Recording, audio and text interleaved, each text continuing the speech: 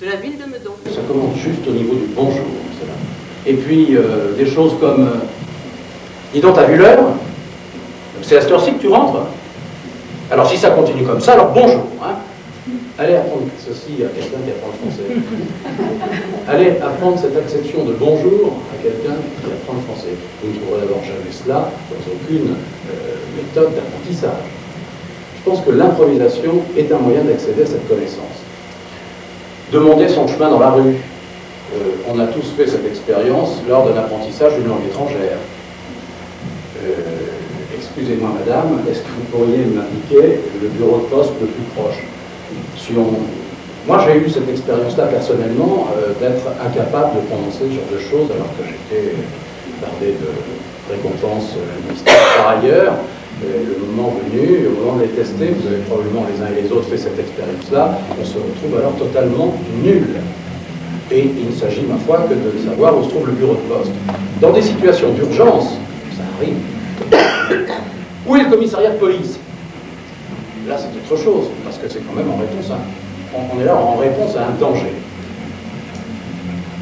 C'est ça l'improvisation. C'est faire euh, face à, à l'urgence dans une situation de danger. Et on en est là, comme je le signalais tout à l'heure, qu'à un niveau de communication, je dirais, basique, voire totalement dérisoire.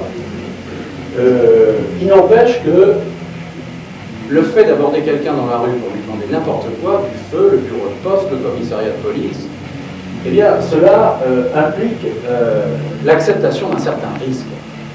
Ça implique, d'une manière ou d'une autre, ou d'une manière ou non, l'acceptation de l'imprévu.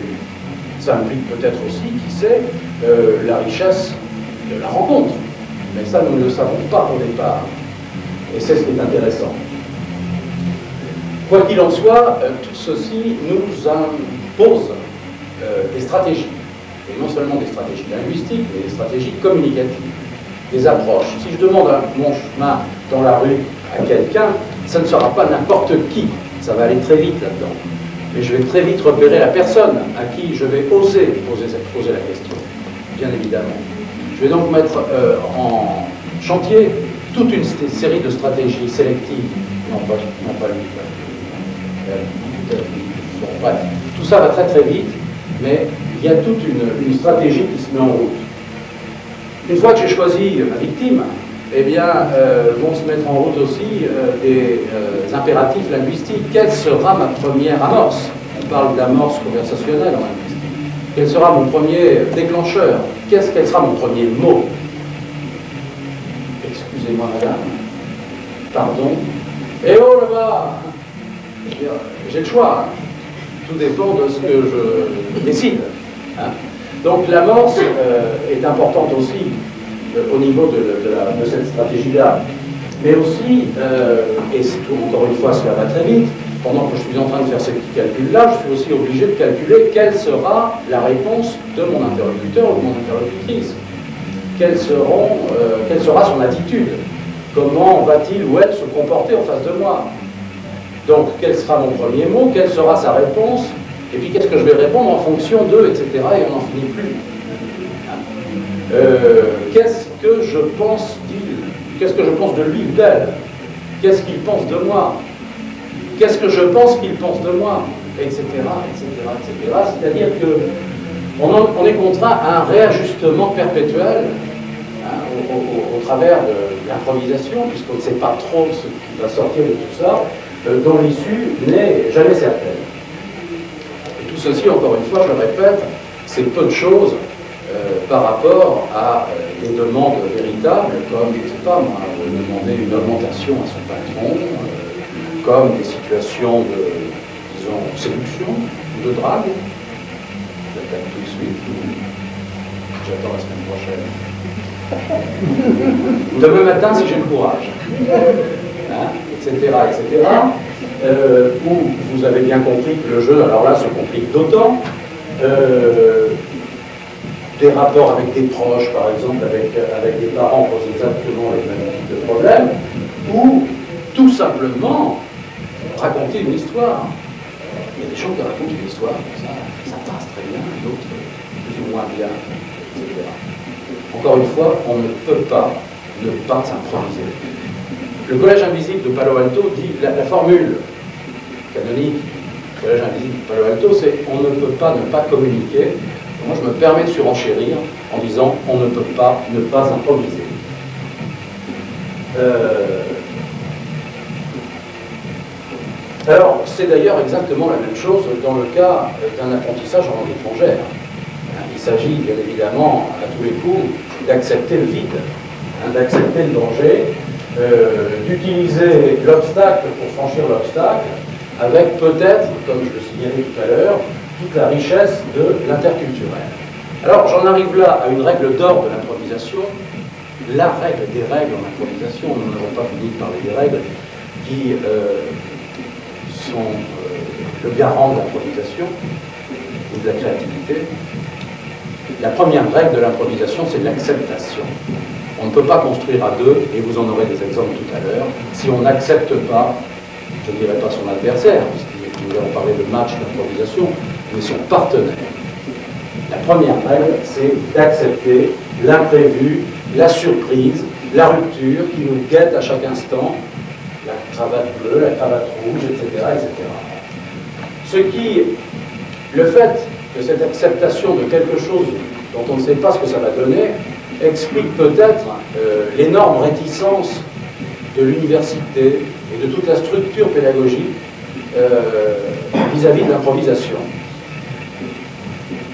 La, structure, euh, l'institution pédagogique tout entière se méfie beaucoup évidemment de l'improvisation, alors que c'est très formateur, justement parce qu'elle ne peut pas maîtriser tous les rouages à chaque instant du processus, bien évidemment. Encore que ça commence à se décontracter un petit peu. Euh, alors que toute la beauté de la chose réside justement dans le fait qu'on ne sait pas euh, jusqu'où elle va aller et comment euh, les choses vont tourner. Et alors la critique habituelle de l'institution, des institutions, c'est ce travail est improvisé, ça ne veut rien dire, c'est de l'improvisation, c'est-à-dire c'est du n'importe quoi, c'est du laisser aller. Bien au contraire, l'improvisation, je dirais que c'est le contraire de n'importe quoi, c'est c'est la mise en pratique de tous ces acquis pour pouvoir répondre de façon positive, ne serait-ce que pour continuer l'histoire, je dirais, notre histoire. Euh, donc, mettre, à profit tous ces acquis pour euh, essayer de, de, surmonter cet obstacle qui est le vide intégral et qui, bien évidemment, euh, nous fait peur. Alors, le paradoxe de l'histoire, c'est que cela s'apprend, bien évidemment. Ça s'apprend avec différents exercices de pose de voix, de respiration, de décontraction, de différents euh, exercices de d'échauffement, de construction du réel, de maîtrise du corps, etc. etc. Je suis en train là de décliner finalement les caractéristiques du comédien et du théâtre. Alors, puisque nous en sommes là, allons-y. la plupart, d'autant plus que la plupart des comédiens aujourd'hui ont pratiqué ou pratiquent l'impro, ne serait-ce que dans une phase d'échauffement ou d'entraînement. L'improvisation a toujours, peu ou prou, vous allez comprendre très vite, euh, accompagné les manifestations de la comédie. L'origine de la comédie, euh, il faut aller là, tout au moins dans, une ère euh, francophone, l'origine de la comédie, il faut aller la rechercher chez les anciens Grecs, au cours des cérémonies, des célébrations dionysiaques, données en l'honneur de Dionysios, et au cours desquelles on pouvait donner libre cours à tous les excès d'ivresse, de lubricité, c'était permis, parce que c'était les fêtes de Dionysios. Il y avait nécessairement de l'improvisation là-dedans, encore une fois, à chaque fois qu'il y a comédie, il y a aussi un petit peu d'improvisation. On retrouve ça chez les Romains, euh, il y a des traces de, l'improvisation dans le théâtre de Claude, par exemple. Il y a d'énormes, il d'énormes marques euh, improvisées dans le cinquième de pétrole, par exemple. Et puis en continuant un petit peu, je vais aller très vite, hein, je ne vais pas vous asséner un cours euh, d'historique du théâtre, en continuant comme ça dans l'ère francophone, on se rend compte qu'au Moyen Âge, par exemple, tout ce qui accompagne la foire, qui a été euh, un élément excessivement civilisateur euh, à l'époque médiévale, c'est-à-dire le travail des battleurs, le travail des jongleurs, le travail des farceurs, s'accompagne lui aussi toujours d'improvisation. Euh, on en arrive euh, bientôt, fin du, Moyen Âge, on en arrive à la Commedia dell'arte au XVIe siècle, bien évidemment, où enfin des véritables professionnels de théâtre euh, ont le culot de s'appeler les comédiens de l'art. La Commedia dell'arte. C'était des gens qui possédaient une culture extraordinaire, qui étaient capables d'improviser absolument sur n'importe quel sujet, tout simplement parce qu'ils étaient guidés par un canevas hein, qui leur permettait de ne pas euh, sortir de euh, l'histoire euh, Ces gens ont une telle conscience euh, de leur métier, de leur professionnalisme, qu'ils se sont appelés les comédiens de l'art, avec un A majuscule. De quel art s'agit-il Sinon de cette facilité, de cette faculté d'improviser dans n'importe quelle situation, de sorte que la Commedia dell'arte a pu euh, dire, faire voyager ce savoir-faire euh, dans l'Europe entière pendant près de 200 ans. En France en particulier, ils ont eu un, succès colossal jusqu'à ce que Louis XIV, euh, subitement pris en seconde noce euh, d'une, euh, de, de, sentiments, euh, de sentiments euh, religieux inspirés par sa deuxième épouse, Madame de Maintenon, tous les comédiens de l'art à la porte et les renvoie chez eux. À la mort de Louis XIV en 1714, le régent, une des premières euh, résolutions du régent consiste à faire vite revenir les comédiens de la Commedia dell'arte.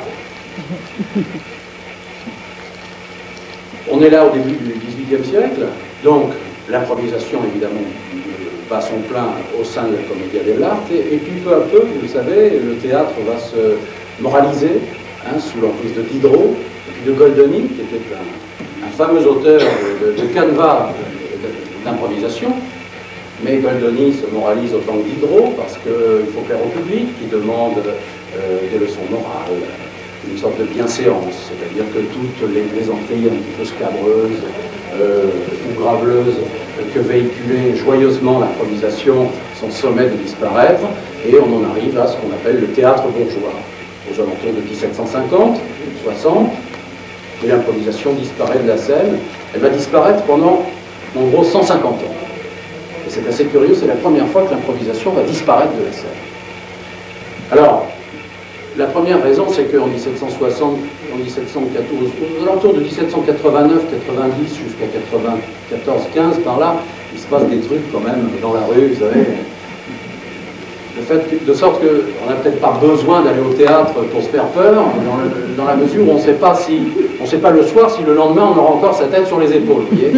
Donc euh, peut-être que la disparition de l'improvisation là euh, s'explique de cette manière-là.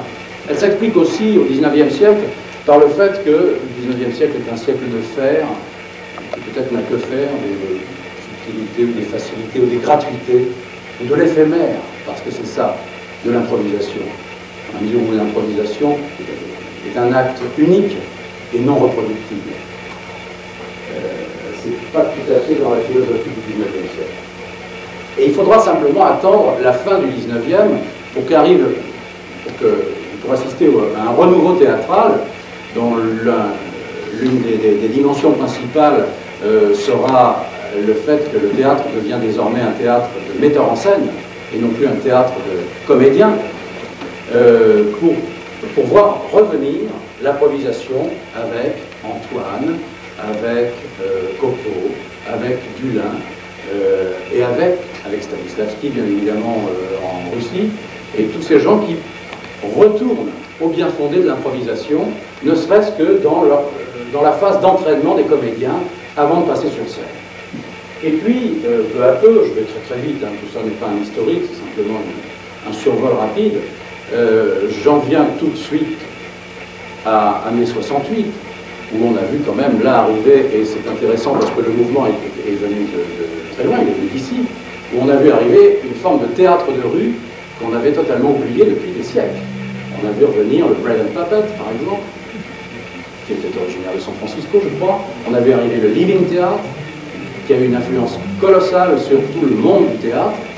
Et depuis, les apprentis comédiens en passent tous, peu ou prou, par l'improvisation.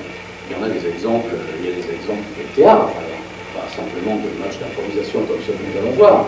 Il y a des exemples de réalisation théâtrale, euh, comme le théâtre d'Ariane Mouchkine, par exemple, le théâtre du Soleil, donc, qui repose entièrement, ce théâtre, sur des improvisations successives choré dont on laisse tomber les scories pour arriver à ces magnifiques spectacles du théâtre du Soleil. En 1977-18, au Québec, à Montréal, existe justement une de ces troupes inspirée par euh, tout ce, mouvement de théâtre de rue euh, qui s'appelle, et ce n'est pas un hasard, le théâtre expérimental de Montréal. Cette troupe a euh, d'énormes difficultés, aussi bien internes qu'externes, à subsister. Euh, de sorte que euh, les, membres de cette troupe sont amenés peu à peu à se poser la question de savoir si ils vont se saborder, tout simplement, ou bien s'ils seront capables de trouver une solution de continuité.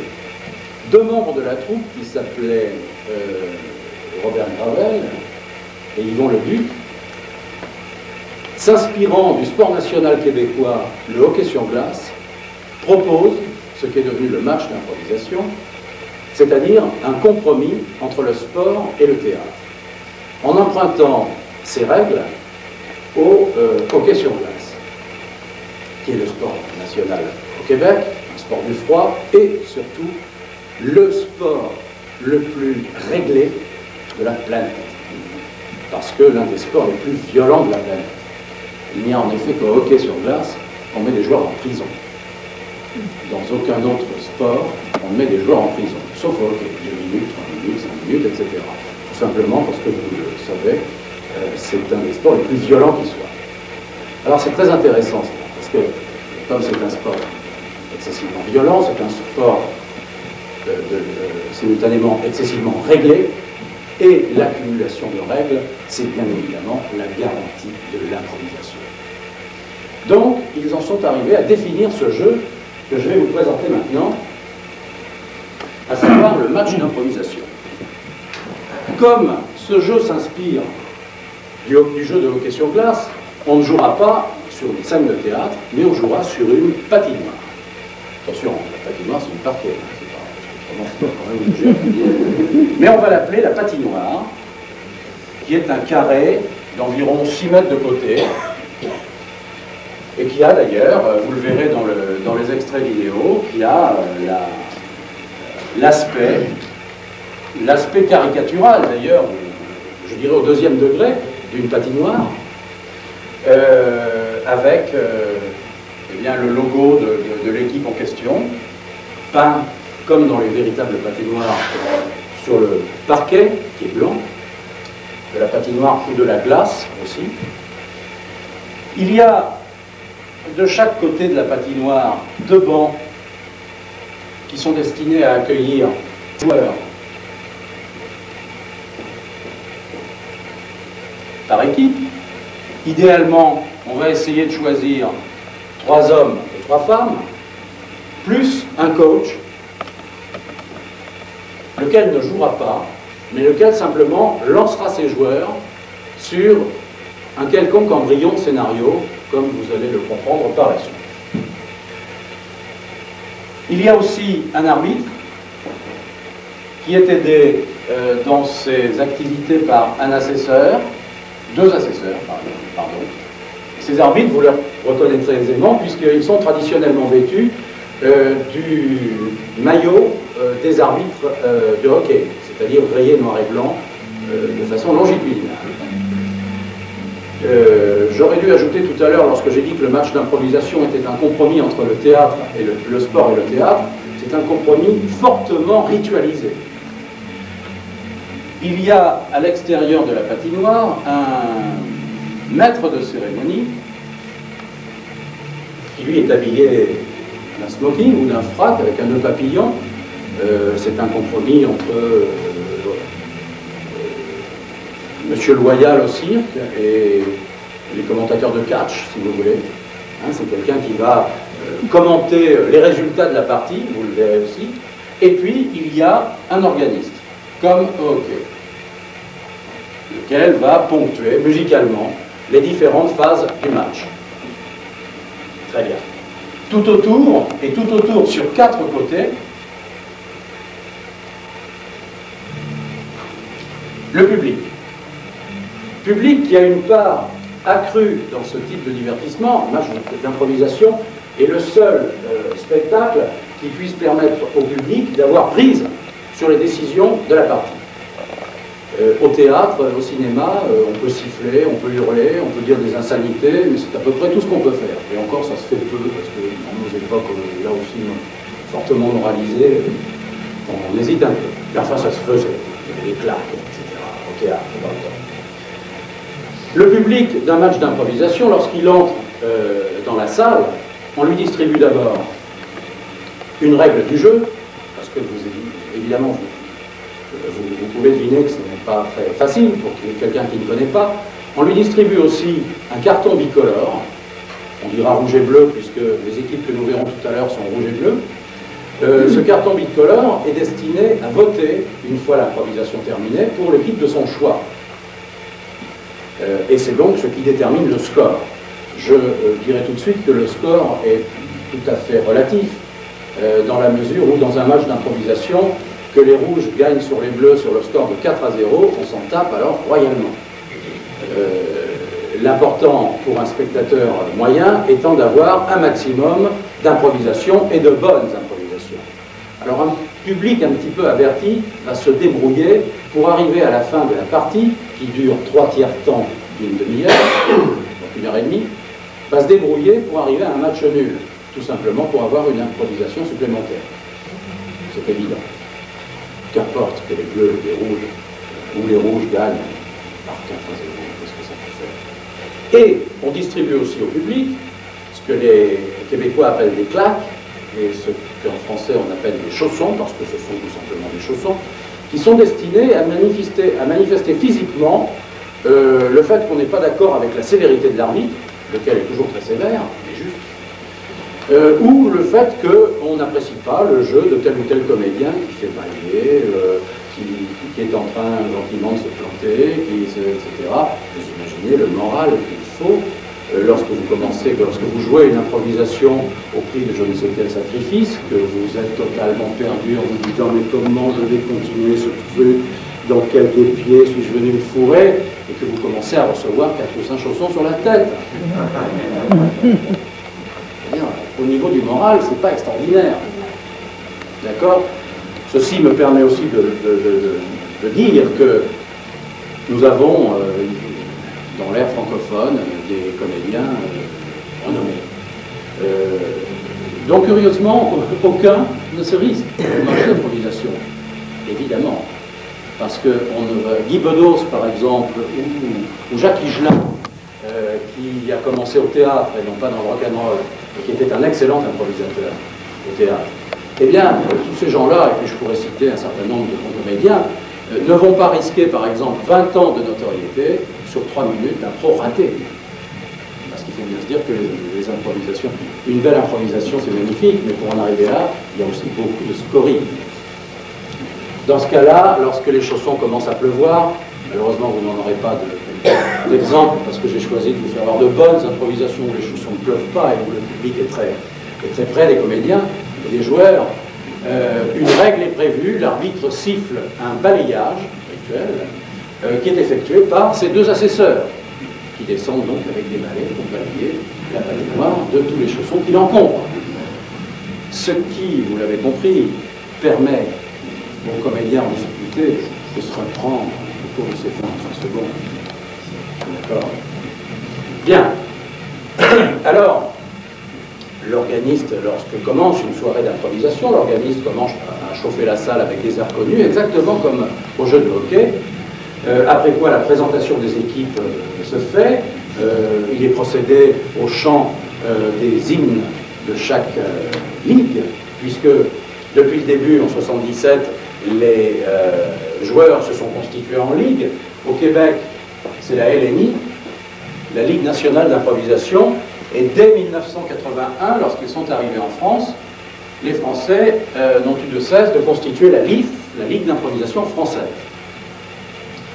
Euh, donc chacun euh, procède à, l'exécution de l'hymne de la Ligue en question, après quoi les improvisations peuvent commencer.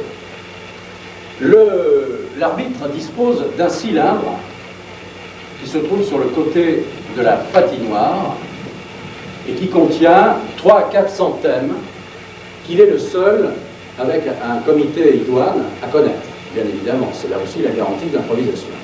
Il fait tourner ce cylindre, on sort au hasard un carton thème sur lequel sont portées cinq indications.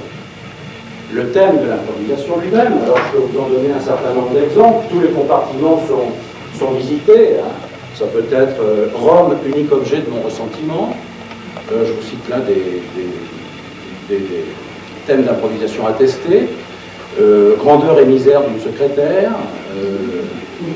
sanglot dans la de chaussures au fond d'un placard. 19e trou. maman descend en ville. J'ai peur la nuit tout seul. J'ai oublié ma pilule. ça ne sert à rien de pousser.